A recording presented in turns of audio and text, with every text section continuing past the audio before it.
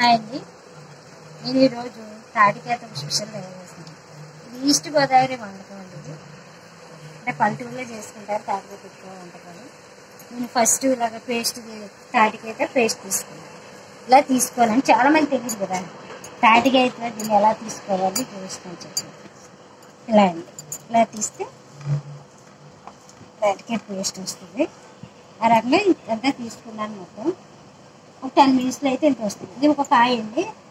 ఒక కాయకి మూడు టెంకలు ఉంటాయి. ఆ మూడు టెంకలు తీస్తే ఈ పేస్ట్ వచ్చింది. అంటే ఇది ఒక పావు కేజీ ఉంటుంది. ఈ పావు కేజీ దాంట్లో మనం బెల్లం కలుపుకోవాలి. ఇదంటే వంద గ్రాములు బెల్లం. మెత్తగా ఇలా చిత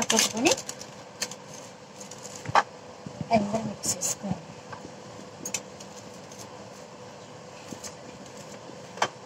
ఇలా మిక్స్ చేసుకున్న తర్వాత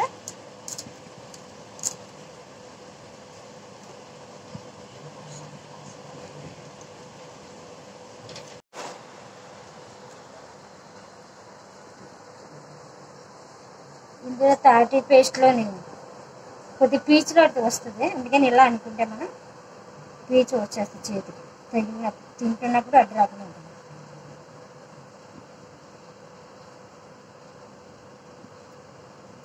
వేసుకుందామండి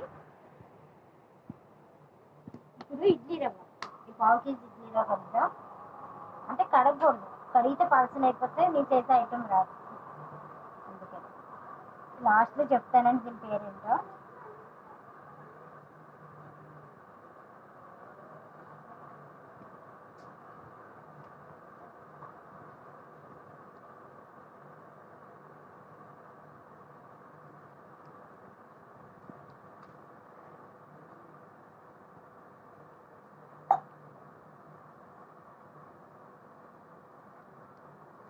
ఇది మా చిన్నతనంలో ఎక్కువ మంది చేసేవాళ్ళు పేరు.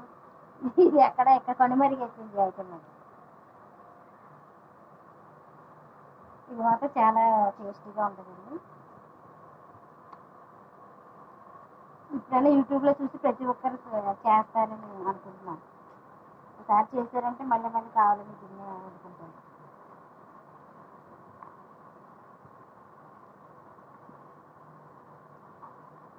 ఓకేనండి ఇలా కలపడం వల్ల ఇంత చక్కగా ఇంత చక్కగా మారిపోయింది. ఇంత స్మూత్గా. అంటే ఇంత టైట్గా ఉండాలన్నమాట. కలిపిన తర్వాత ఇలా తయారైందండి? దాన్ని ఒక టెన్ మినిట్స్ నాననిద్దాం ఓకే. ఇది తాటాక్ అండి మనం ఈ తాటాక్తోనే వంటకం చేస్తాం. ఆ తాటాకుని మనం ఇలా కట్ చేసుకోవాలి. ఓకేనండి?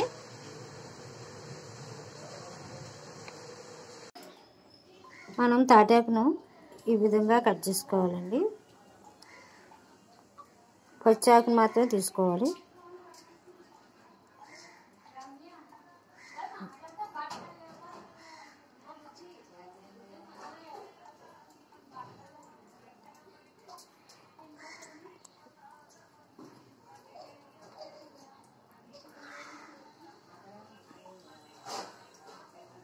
సరే అండి ఈ విధంగా రావాలి.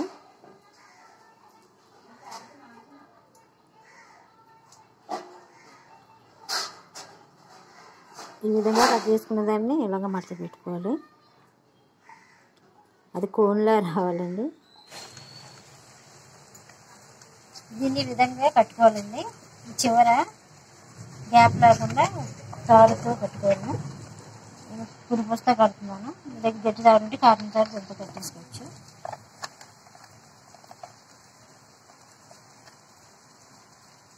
మూడు జారకుండా గట్టిగా ఉందండి ఇప్పుడు మనం కలుపుకున్నది ఉంది కదా. అందులో వేసుకుందాం బెల్లం తాటాకు సారీ తాటాకులో బెల్లంతో కలుపుకున్నాం వేస్తాం అందులో. నువ్వు మళ్ళీ తర్వాత చెప్తావు.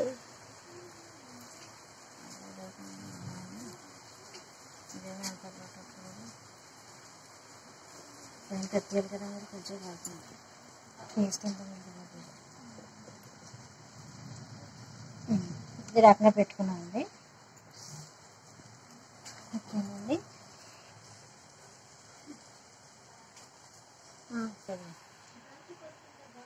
ఇంకండి చివరి కూడా ఇలా తాడుతో కట్ చేసుకున్నాం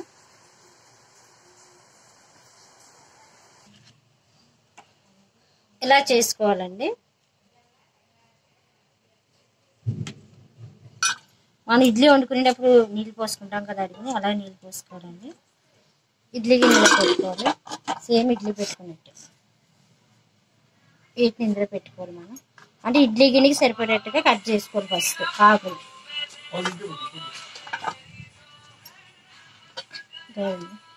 మనకి ఎలా అయితే పడుతుందో చూసుకోవాలి.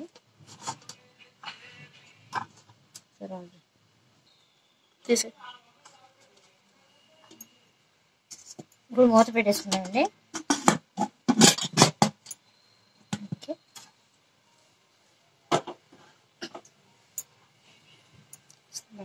ఆన్ చేస్తున్నానండి.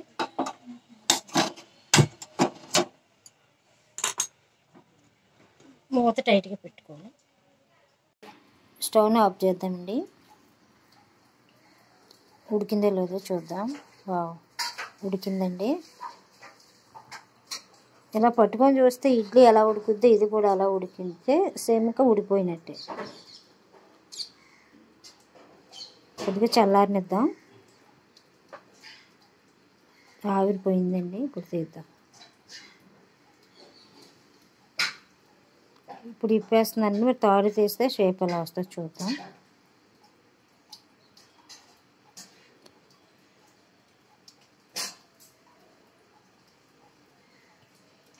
కట్ చేద్దామండి.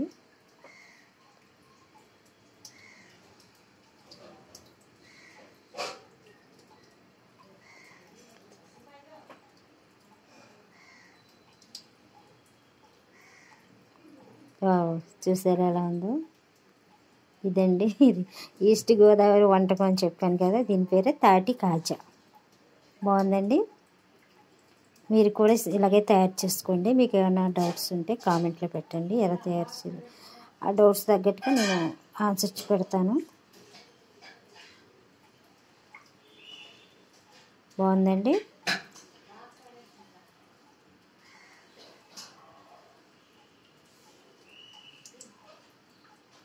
ఇది కూడా ఇప్పుడు చూద్దాం. రెండోది కూడా ఎలా ఉందో.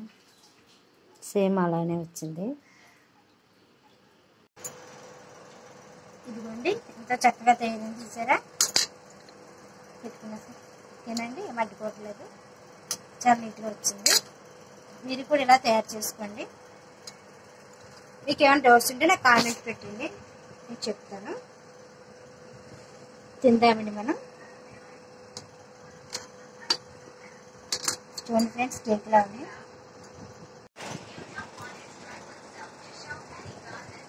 చాలా బాగుంది ఫ్రెండ్స్.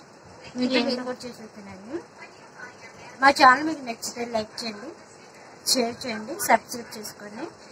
పక్కన ఉన్న బెల్ ఐకాన్ క్లిక్ చేయండి.